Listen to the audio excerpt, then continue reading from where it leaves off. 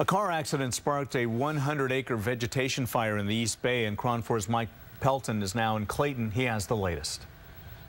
Well, Marty, new containment numbers within the past hour. CAL FIRE has reduced the size of the fire down from 125 acres down to 80 acres and 80% containment. They tell me the daylight has given them a better look and a more accurate look at the size of the burn area.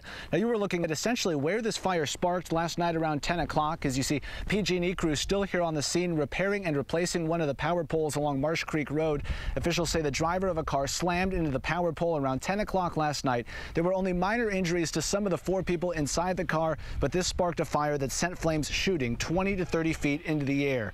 Officials tell me the downed power lines sparked a grass fire and it quickly spread to dry brush that sent the flames racing up the hillside north of Marsh Creek Road.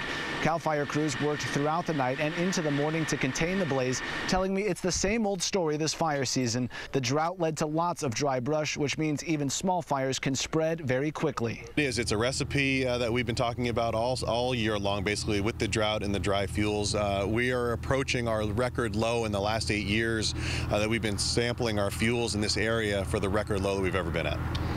And fire officials temporarily evacuated about 20 people from five different homes up on the hillside. They've since been let back into their homes, and fire officials are applauding their efforts, telling me that all of those homes had cleared defensible space around the home.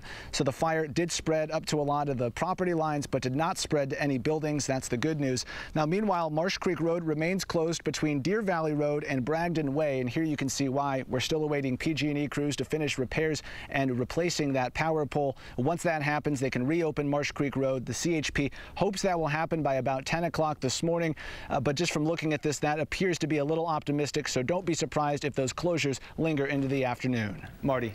Okay, that's Mike Pelton reporting from Clayton.